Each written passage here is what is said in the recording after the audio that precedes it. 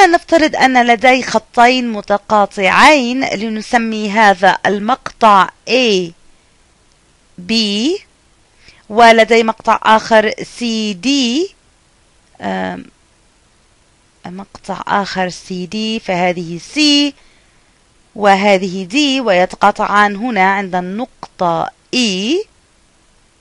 لنقل أنه معطى لنا أن الزاوية هنا قياسها آه، لا أدري لماذا وضعت B بعيدا.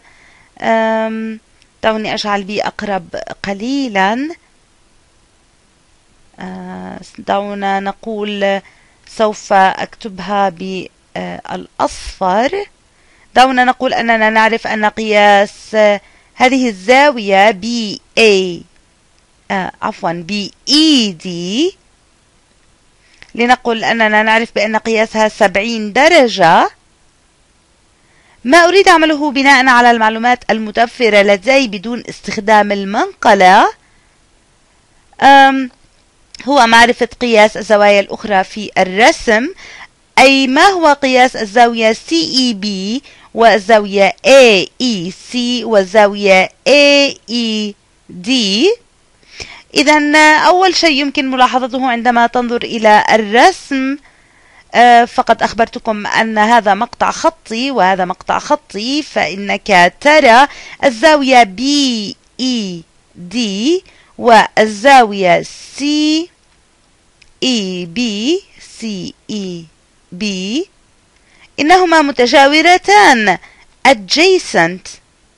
Adjacent. ونرى أيضا إذا أخذنا الأضلاع الخارجية آه لهذه الزوايا. إنها تشكل زاوية مستقيمة. ونرى أيضا أن الزاوية آه CE CED هي زاوية مستقيمة.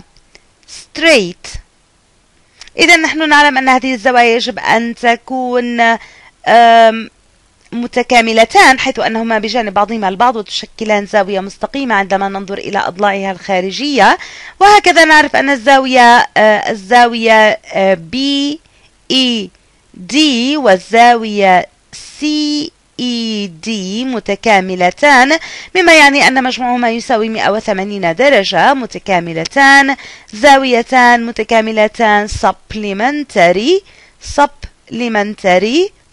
وهذا يعني أن قياس الزاوية ونرمز له ب M B E D B E D زائد قياس الزاوية C E B.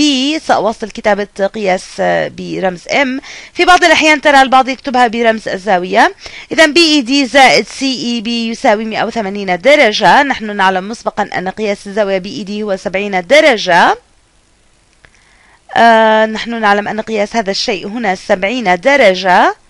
إذا 70 درجة زائد قياس الزاوية بي يساوي 180 نطرح 70 من الجانبين.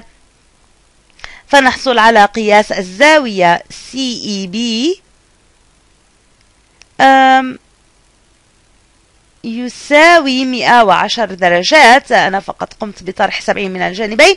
وهكذا اكتشفنا أن هذه الزاوية تساوي 110 درجات. هذا ممتع. أنا حللت المسألة بخطوات كثيرة يمكنك حلها بأسرع أكثر إذا أردت. يمكنك القول أن هذه الزاوية 70 درجة ومجموع هذه الزاوية وهذه الزاوية يجب أن يكون 180 درجة فهذه إذا ستكون 110 درجة. والآن سوف أستخدم نفس المنطق لمعرفة قياس الزاوية CEA الآن نهتم بقياس الزاوية CEA ونستطيع استخدام نفس المنطق الذي استخدمناه هنا. الزاوية CEA والزاوية CEB متجاورتان. فهما تشكلان زاوية مستقيمة إذا نظرنا لخارجهما فيجب أن يكونا متكاملتين حتى تشكلان زاوية مستقيمة هنا. إذا مجموعهما 180 درجة. إذا قياس الزاوية CEA A زائد قياس الزاوية CEB وهو 110 درجة يجب أن يساوي 180 درجة. إذا مرة أخرى نطرح 110 من الجانبين فنحصل على قياس الزاوية CEA يساوي 70 70 درجة. إذا الزاوية هنا هي 70 درجة أيضا. ما سوف نتعلمه في الفيديو التالي أن هذا ليس مصادفة. هاتان الزاويتان الزاوية CEA والزاوية CEB آه، في بعض الأحيان تسمى بالزوايا المتقابلة. أنا أسميهم كذلك في أغلب المرات ولكن الأصح أن نسميها الزوايا المتقابلة بالرأس. نحن لم نقم بإثباتها ولكننا رأينا حالة خاصة هنا حيث تكون الزوايا المتقابلة بالرأس متساوية ولكن الزوايا المتقابلة بالرأس هي دائما متساوية ولكننا لم نثبت ذلك في الحالة العامة. آه، دعوني أكتب ذلك.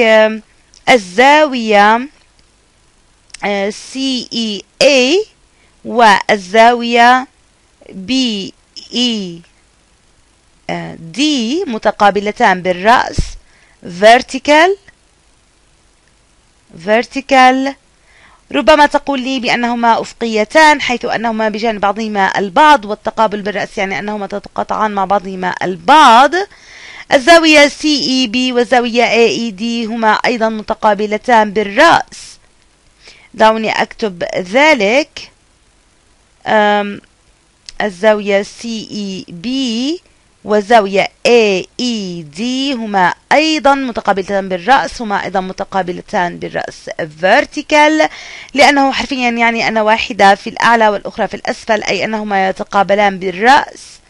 ولكن أيضا هذه الزوايا المتقابلة بشكل أفقي هي أيضا متقابلة بالرأس.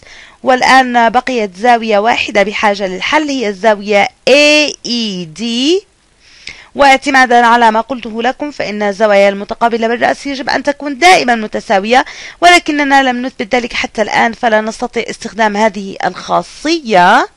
لنقول أن هذه الزاوية قياسها 110 درجات لذا ما سوف نفعله أنه من الواضح أن CEA و AED هما زاويتان متكاملتان.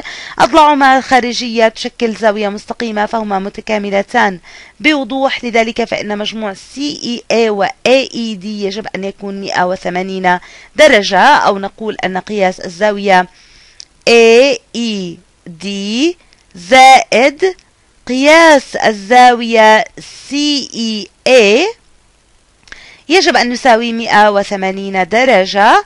نحن نعلم أن قياس الزاوية CEA هو 70 آه، درجة. آه، نطرح 70 من الجانبين فنحصل على قياس الزاوية AED يساوي 110 درجات.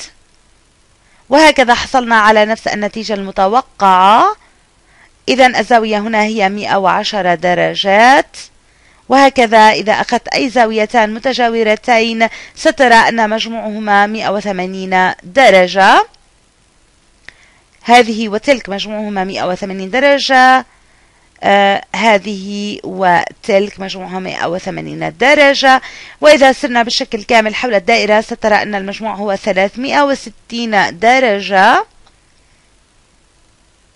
آه إذا 70 زائد 110 يساوي 180 زائد 70 يساوي 250 زائد 110 يساوي 360 سوف أترككم هنا حيث أننا للمرة الأولى وجدنا نتائج ممتعة باستخدام مجموعة الأدوات التي قمنا ببنائها في الفيديو التالي. سوف نقوم باستخدام نفس المنطق ولكن باستخدام أرقام عامة وليس باستخدام قيمة محددة مثل 70 درجة. لنثبت بأن الزوايا المتقابلة بالرأس قياسها متساوي.